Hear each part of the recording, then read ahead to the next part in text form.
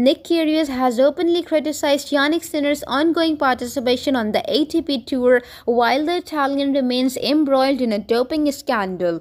In March 2024, Sinner tested positive for clostebol, an anabolic drug, after Indian Wells. Sinner claimed that the drug entered his system unintentionally due to a healing spray used by his former physiotherapist during a body massage. The case became public in August after the Cincinnati Masters, sparking debate within the tennis community.